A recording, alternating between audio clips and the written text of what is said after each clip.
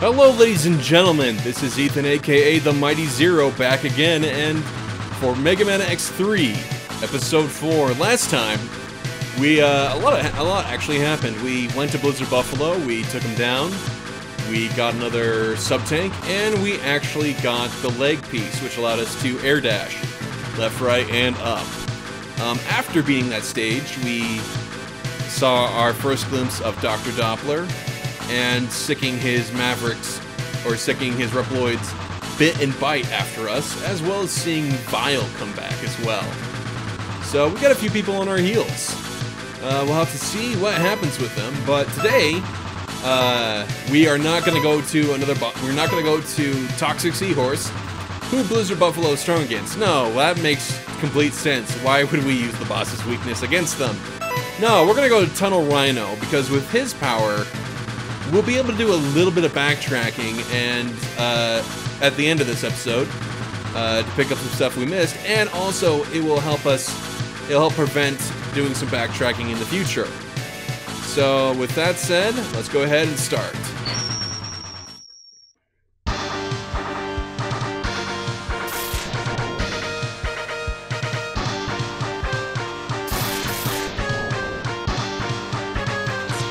Tunnel Rhino.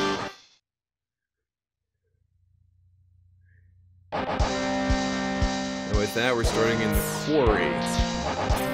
Uh, so these guys there, they'll drop down and they'll shoot rockets at you. Most sometimes, if you're quick, you can actually take care of them before they hit the ground there. And now, time to go underground. Nice little background with these jewels that just flash back and forth. Yeah, nice. Alright. So, insta-death pit here. Nice that we have the, uh, the leg piece, just so we can jump through. And we see the rock counterpart to the ice balls that we saw before. Uh, taking a detour off to our right here, we can see a life extender, but we can't get to it. This rock can only be broken by a different boss's power. So we will have to come back.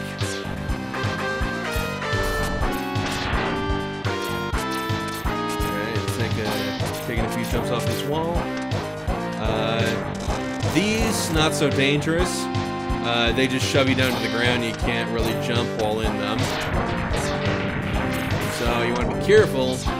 Otherwise, they'll push you down to those spikes, which are insta-death. Run against the treadmill. Not a big issue. That one will shove you down again. And you got another one right there kind of nice. They're continuing the Mega Man tradition of showing you obstacles in a safe environment and then adding different challenges to it. And with this, we actually have another our first power up of the stage, which is another sub tank. So taking a look at it, we are up to three now.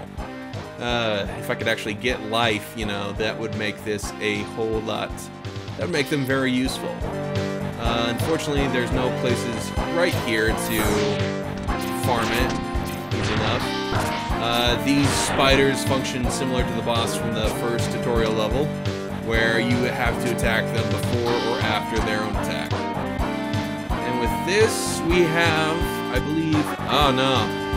Oh, okay. This is another one of those sub-boss rooms. Uh, this is where Bit and Byte can show up. Uh, so this time they did not show up. So we'll go ahead and continue on.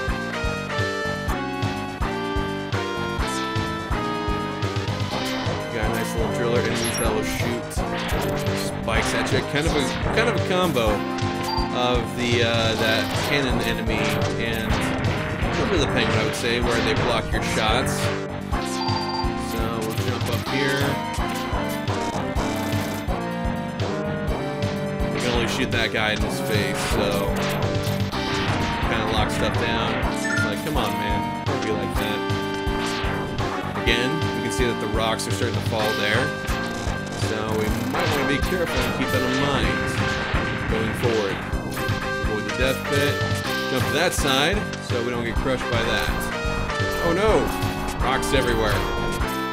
Again, we have another instance of the rock that we can't get past. We'll have to come back with a different power. This one, you let it go first. Slide down the wall. Walls are your friends, as will be shown in this next room. Here we have a mini boss.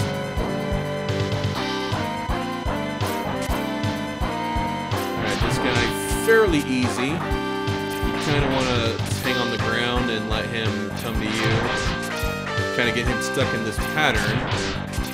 The, uh, the other attack that he has that he comes up here, he knocks you down, and then he charge commands this thing to come after you. So again, the easier, safer method is to uh, pretty much just let him come for you, try to him a little bit of space up on the wall. Kind of get the rhythm down, and you can just keep this guy going wherever you want him to.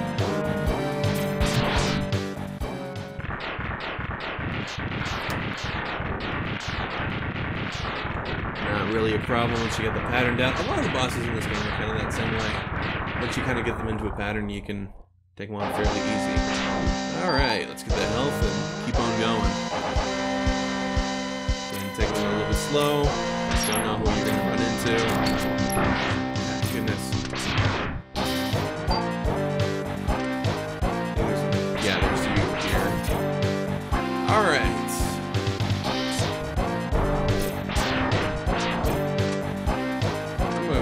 Stage for a little bit. Let's show off some of these powers. So we have our Ray Splasher here.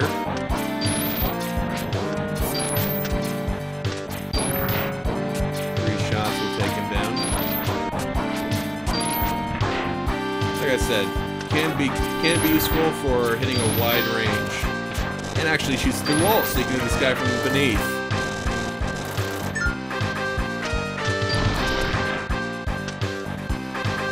And then with the frost shield, it, as you saw, it leaves, uh, it shoots off the spike, but the spike, once it hits the wall, actually leaves a projectile on the ground as well. Can be kind of handy. Uh, can't switch off the power though until it's gone, so you have to switch that. You know what, this guy I'm not digging. I'll attack him from underneath.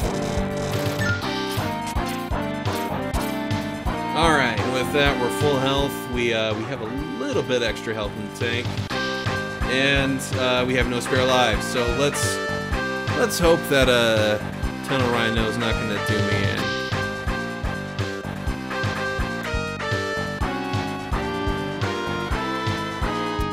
This one to the boss doors. Now, Tunnel Rhino's gonna kind of function like Blizzard Buffalo in a uh, smaller room. Most of the time, if you're on the wall, he'll come at you, but he can switch. Uh, he can switch positioning if you're not careful. It's gonna be kind of on. You kind of want to move at the last minute kind of thing. See, he can adjust position, try to psych you out. If you're not careful. Halfway where he gets an invincible charge.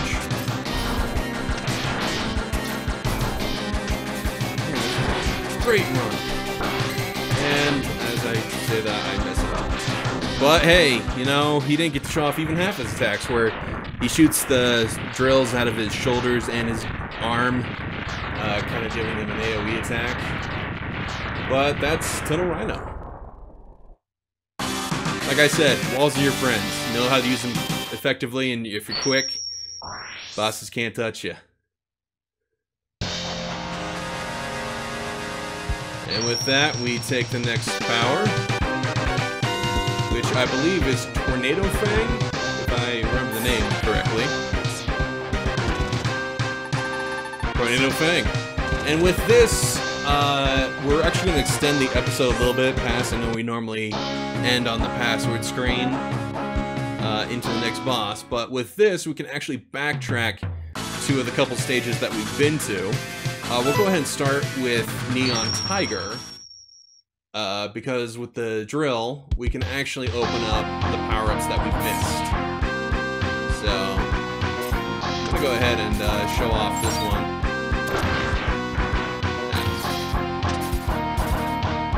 Actually, you know what? We'll just skip it right there. Just jump up the wall.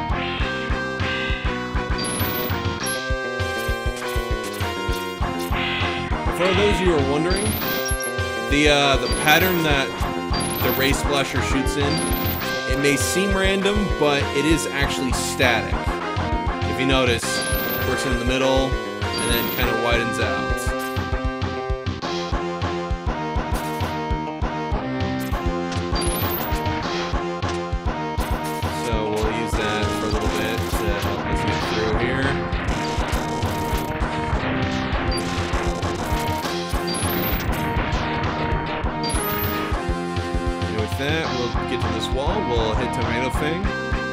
The nice things about it is that if you double tap Tornado Fang, it actually gives you three additional ones on the side. That does help out. Uh, careful the drop here, because that does lead you down to insta-death. So take an air dash over here, air dash.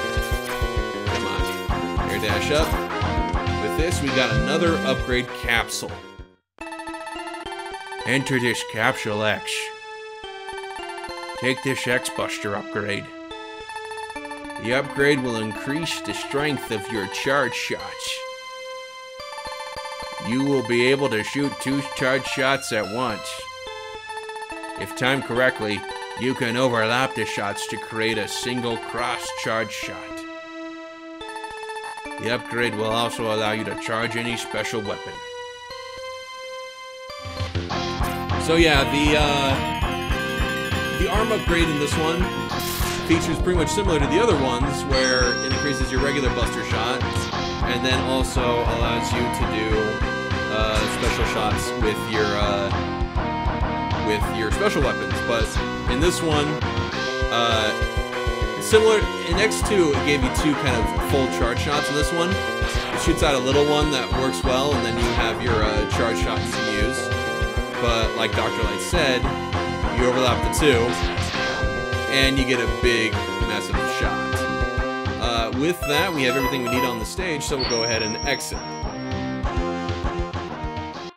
And we'll, we're going to go ahead and head back to Blizzard Buffalo. Thankfully, thankfully, the power up we missed there was actually near the beginning of the stage. So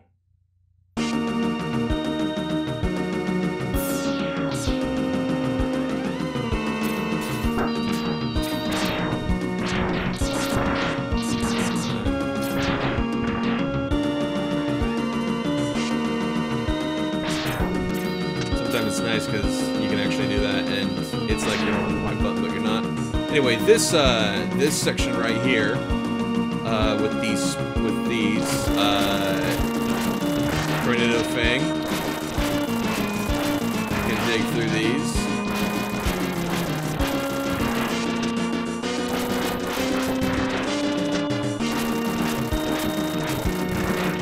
Trying to be careful with